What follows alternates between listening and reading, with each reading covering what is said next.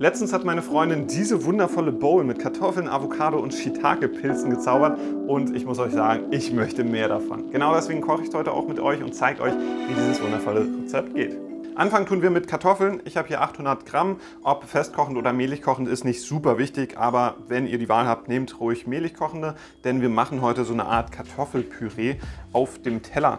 Ähm, das Wasser ist hier auch schon mal heiß, äh, beziehungsweise das Wasser ist momentan noch kalt, aber heizt sich gerade auf. Kartoffeln kommen ja immer direkt ins kalte Wasser. Äh, mittlerweile habe ich auch gelernt, wieso das so ist. Einfach damit sie gleichmäßiger gart, denn ansonsten, ähm, wenn man es direkt ins heiße Wasser macht, ähm, ja, verkleistert so die Stärke und dadurch ist der Garprozess wohl nicht ganz so gleichmäßig. Brauchen da drin ungefähr so eine Viertelstunde bei der Größe. Ich habe hier so 200 Gramm Shiitake-Pilze und ich persönlich liebe ja den Geschmack von Shiitake-Pilzen. Die sind ein bisschen teurer als Champignons, aber haben halt auch einen ganz besonderen Geschmack und ich würde euch auf jeden Fall mal empfehlen, die auszuprobieren. Falls ihr gerade auf Sparkurs seid, könnt ihr aber auch Champignons bei dem Essen nehmen. Ganz unten haben Pilze meist so eine trockene Stelle, deswegen würde ich auf jeden Fall den ersten Zentimeter vom Pilzstiel abschneiden oder natürlich auch den kompletten Stiel ähm, entfernen. Gibt ja auch Leute, die das nicht mögen. Als nächstes werden die Pilze dann klein geschnitten und je nach Größe könnt ihr die halbieren, dritteln oder vierteln. Einfach so, dass schöne mundgerechte Stücke entstehen dabei. Falls ihr mehr solcher kreative Rezepte bekommen wollt, dann drückt auf jeden Fall mal auf den Abonnieren-Button unter dem Video, denn äh, ich glaube, Rezepte können wir alle gut gebrauchen und so wisst ihr immer, was ihr am nächsten Tag kochen sollt. Die Pilze werden gleich nochmal angebraten, aber ganz wichtig ist dafür auf jeden Fall, dass die Pfanne richtig vorgeheizt ist. Deswegen warte ich jetzt auch noch ein bisschen, bis ich sie in die Pfanne gebe und kümmere mich in der Zwischenzeit schon mal um Frühlingszwiebeln. Die schneide ich einfach in ganz feine Ringe. Die kommen nämlich einfach so als Topping dann am Ende noch oben drüber und geben so ein bisschen Knackigkeit und Frische mit rein. Das Dunkelgrün könnt ihr ruhig mitbenutzen, hat so einen schönen herben Geschmack. Ich mag den eigentlich ganz gern. Zum Anbraten benutze ich heute mal Kokosöl. Das ist eh schon fast flüssig hier bei den 25 Grad. Die Pilze kommen dann direkt hinterher. Bei Pilzen geht es darum, das Wasser wirklich rauszukochen und den Geschmack zu intensivieren. Ihr könnt zum Anbraten natürlich auch jedes andere Öl nehmen, was hitzebeständig ist. Wir können in der Zwischenzeit uns schon mal um die letzte Zutat kümmern und zwar die Avocado. Die Avocado, die würfeln wir. Nehmt auf jeden Fall nur richtig schöne reife Avocados. Die ist auf jeden Fall wunderbar reif. Einmal in die Mitte hauen, drehen und schon ist der Kern draußen. Bei der Avocado gibt es im Grunde zwei Möglichkeiten, sie zu würfeln. Die erste ist, sie einfach in der Schale direkt so ein, so ein Würfelmuster reinzuschneiden. Also einfach einmal so und dann nochmal dagegen.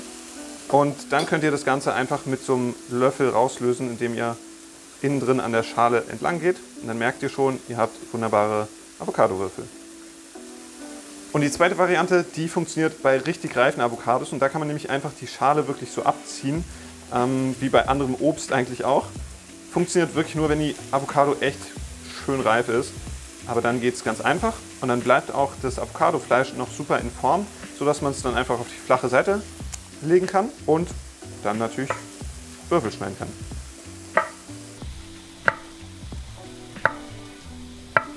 Welche der beiden Techniken ihr verwendet, äh, ist euch überlassen. Aber ihr könnt gerne mal in die Kommentare schreiben, welche ihr cooler findet.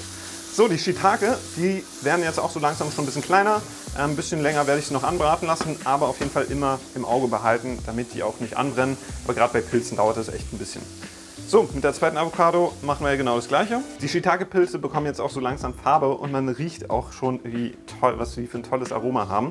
Das wird jetzt nochmal ein bisschen unterstrichen mit Sojasauce.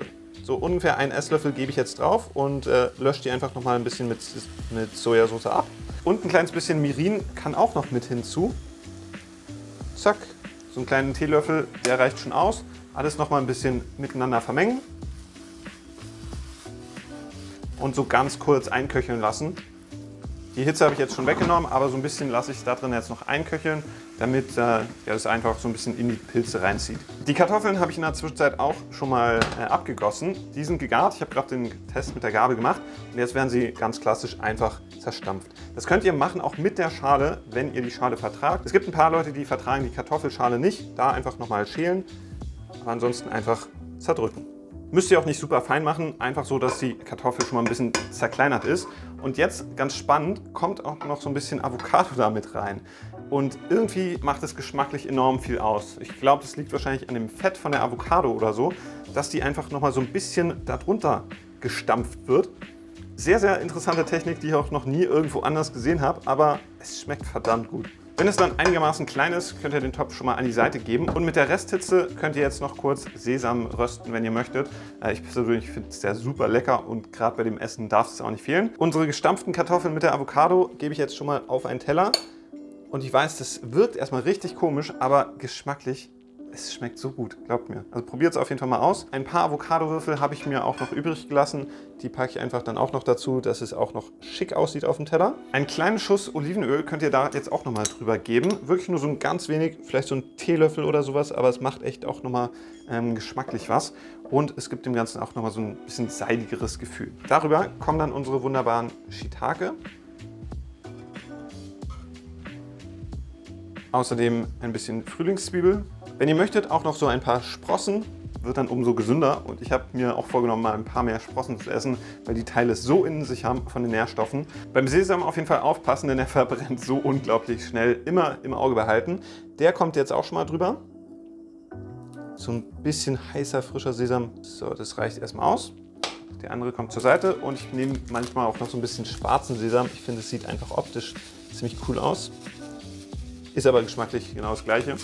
Ein bisschen Zitronensaft noch drüber und schon habt ihr ein unglaublich geniales Essen fertig. Das ist vegan, es ist gesund, super lecker und echt, echt empfehlenswert. Deswegen macht es gerne nach, sagt mir, wie es geschmeckt hat und bis zum nächsten Mal. Ciao.